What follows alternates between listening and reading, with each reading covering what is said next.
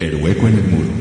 Las autonomías eh, en el país hay que profundizarlas, cuál es el estado de situación de las autonomías en el país. Recordemos que hay distintos niveles de, autonomías, pero para introducirnos en este tema le vamos a dar la palabra a nuestro compañero Elmer Peña. Las autonomías, hay, hay diferentes tipos de autonomías que están nominadas en nuestro estado. Es las autonomías municipales, las autonomías departamentales y las autonomías indígenas originarias campesinas, ¿no?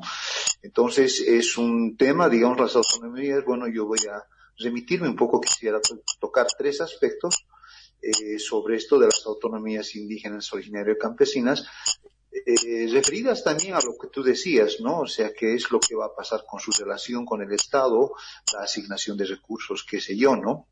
Bueno, por una parte, eh, de las autonomías indígenas originarias campesinas, en el plano urbano nos resultan un poco lejanas, ¿no? Pero sin embargo, eh, quisiera destacar que estas autonomías es una reafirmación de las identidades, De las diversas y plurales identidades que tenemos y que somos, ¿no? Que somos en este territorio que denominado Bolivia, ¿no? Entonces, estas autonomías indígenas se desarrollan como, una reafirmación de identidad, ¿no? Plural, porque eso somos, ¿no? O sea, eh, somos bolivianos, pero también somos yamparas, somos eh, quillacas, somos caracaras, o sea, somos un montón de identidades que convivimos, que cohabitamos que nos relacionamos, ¿no? Y las autonomías indígenas originarias reafirman esta identidad, ¿no? En el sentido de que son vigentes, están presentes, no, no es algo del pasado, es algo que existe, que con, el cual, con lo que convivimos, ¿no? Que habitan un espacio, un territorio, ¿no? Y además que tenemos formas organizativas, ¿no? Propias, tenemos una institucionalidad propia, es decir, nosotros tenemos normas, procedimientos para administrar nuestro entorno, para tomar decisiones, para controlar, regular nuestros, actos entre la población, en realidad tenemos una forma de gobierno, ¿no? Y las autonomías indígenas originarias buscan, digamos, reafirmar esa capacidad de autogobierno de estas identidades diversas que vivimos en, este territorio que se llama Bolivia, ¿no? Entonces, eh, ahora, nominalmente, o sea, dentro del, Estado boliviano, se han reconocido formas de participación política que eh, justamente eh, recogen esto, ¿no? Hay, un, hay una democracia representativa, ¿no? Una forma política que es la democracia representativa, hay la democracia participativa y hay la democracia comunitaria, ¿no? Que es justamente esa posibilidad de, de autogobierno, ¿no? De como entidades autónomas podamos digamos, reafirmar nuestras formas existentes, porque son existentes, no, no son, digamos, cosas del pasado, las, las vivimos en la cotidianidad. E inclusive, inclusive, si nosotros las hemos eh, digamos, en otras áreas que no son, digamos, estos territorios, también se las practica, ¿no? Porque prácticamente en los procesos migratorios también nosotros reeditamos estas formas, ¿no? Por ejemplo, nosotros eh, eh, constantemente en los barrios, ¿no? Tenemos nuestra junta vecinal y ahí es una asamblea y la asamblea decide, debate, ¿no? Y decide después eh, define también cómo se controla, decide cómo se usa la plaza, decide, o sea, hemos arrastrado esas formas, ¿no? De democracia comunitaria existentes y se las reafirma, ¿no? Entonces las autonomías indígenas originarias quieren, digamos, que se reafirme estas formas de autogobierno, ¿no? Y justamente eh, muchos sectores de la población eh, que se han reafirmado en su identidad han ido, digamos, eh, buscando encontrar una forma, digamos, dentro de la división administrativa que tenemos y justamente una forma, porque si, si bien nosotros administrativamente el Estado, digamos el Estado Nacional de Bolivia tiene sus departamentos, tiene sus provincias, tiene sus municipios, pero ahora se han Se han incrementado y se han reconocido otras unidades que son las unidades territoriales autónomas indígenas originarias campesinas, ¿no? Que pueden ser territorios o pueden ser autonomías locales que se eh, que se convierten de municipio a autonomías indígenas comunitarias, ¿no? Entonces, existe, en este momento hay, ¿no? Este, se han, se han dado, se ha dado ese proceso, ¿no?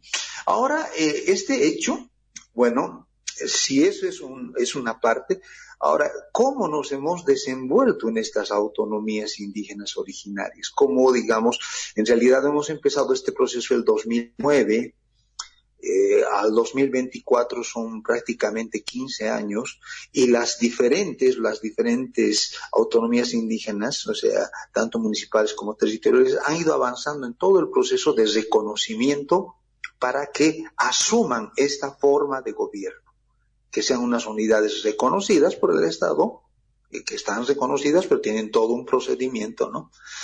Pero hay un detalle, ¿no? Hay un detalle, hay una complejidad social en esta asignación de estas unidades, ¿no? Puesto que, eh, miren, o sea, son prácticamente 500 años, ¿no? que han pasado y nada es estático, ¿no? Todo ha ido cambiando. Entonces ha habido una gradual ocupación y en realidad en este momento las autonomías indígenas han sido ubicadas en un grado de marginalidad, o sea, al margen de los, de los que han ido ocupando, se han ido, digamos, siendo satélites de lo que hemos ido ocupando. Hemos ido creciendo los pueblos, las ciudades, entonces los pueblos originarios han ido, han ido retrotrayéndose a unos lugares que, digamos, en este momento, digamos, muchas de las autonomías indígenas originarias están prácticamente en, ese, en esa calidad de margen, ¿no? No, no ocupan la centralidad. Y ese es un problema. ¿No? Ese es un problema. Es un problema para su sostenibilidad, ¿no? Pero que pese a eso, ¿no? Pese a eso, ellos eh, en todo este, una serie de, de, de, autonomías indígenas han ido reafirmándose y han ido logrando, ¿no? Están, están en un proceso. Ahora, eso significa, ¿no? Eso significa también que han enfrentado diferentes cosas, ¿no? Hay lugares, ¿no? En esa marginalidad que existe ahorita, porque las, los diferentes, las diferentes unidades territoriales indígenas originarias, como los, las autonomías municipales originarias campesinas, hay algunas que eh, en su población, o sea, étnicamente, o sea, son una, digamos, es una mayoría de la población, ¿no? Entonces, al convertirse, o sea, un 90, 80%, un, hasta un 70% de la población estaba de acuerdo en transitar de ser municipio a ser autonomía indígena, a ser gobierno autónomo indígena, ¿no? No ser gobierno municipal, sino gobierno autónomo indígena, ¿no? Entonces ahí, digamos, había prácticamente un consenso.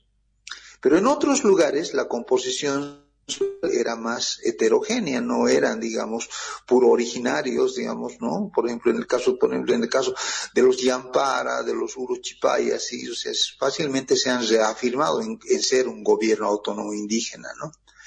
Pero hay otros, por ejemplo, que en el, en el lado del Chaco, donde hay una composición más heterogénea. Hay gente, por ejemplo, en el lado de los guaraníes, digamos, ¿no? De que hay 50, 60% no son, eh, son guaraníes, 40% no son guaraníes, otros son campesinos, tienen otro grado de identificación.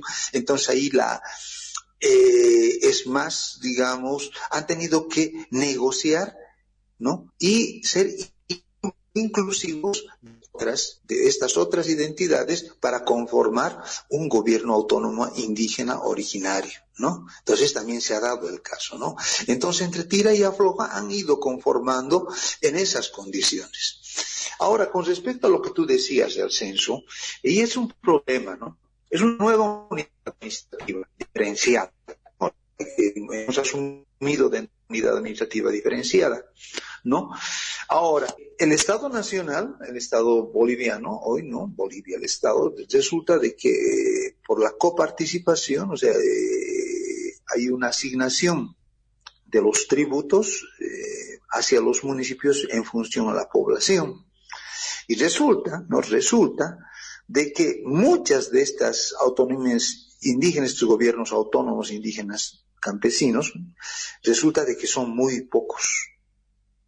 Entonces, eh, la cantidad de recursos que les van a llegar, o sea, también son pocos. Entonces, su sostenibilidad institucional, o sea, puede, puede, no, no estamos seguros, puede que, digamos, sea afectada, pero pueden encontrar también otros mecanismos, pero lo ideal, ideal sería que la capacidad de negociar que puedan tener una asignación diferenciada, puesto que se necesita potenciar estas, estas formas de autogobierno, ¿no? Que son mucho más acordes para, eh, que son, digamos, más representativas, son más participativas y además logra una cohesión social mucho más fuerte. Entonces, eh, están en este dilema. Es posible que nos ponga, digamos, la asignación de recursos en la sostenibilidad de estos municipios puedan ser afectada, puede ser dudosa, ¿no? Por ejemplo, el, el municipio de, de Huacayan no excede los 4.000 habitantes, entonces los recursos que, que, va, le van a asignar para administración de parte del Estado Nacional van a ser muy pocos, ¿no? Entonces, y muchas veces ¿no? Entonces, eso, ese alguna, algunos comentarios sobre la autonomía indígena y la relación con, con la asignación de recursos.